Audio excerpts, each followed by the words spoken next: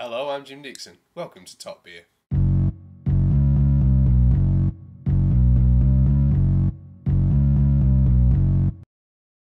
So you've been at work all day, you put in a hard graft, you've got a parched throat, you come home, you open the fridge, and you grab yourself a can of Kronenbourg 1664.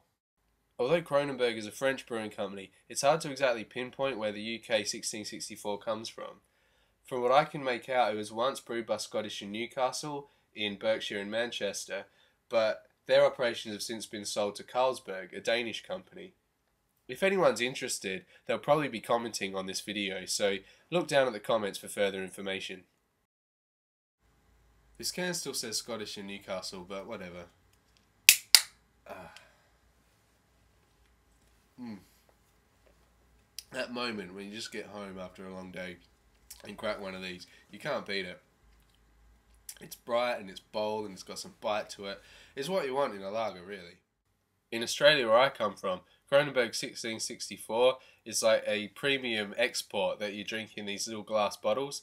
But here it's just your cheap knockabout buy from Tesco kind of lager that you'll always have in the fridge. It's a bit like Stella Artois.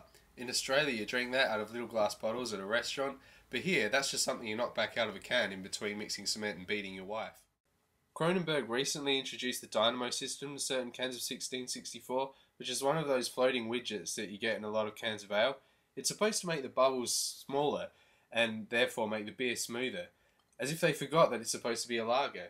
It's like they took ale drinkers and lager drinkers and then alienated both target audiences. It's a bit like Need for Speed Shift. As far as I'm concerned, it's pretentious, high concept, and destined to be a flop. So if you want the proper Kronenbourg experience, stick with the original.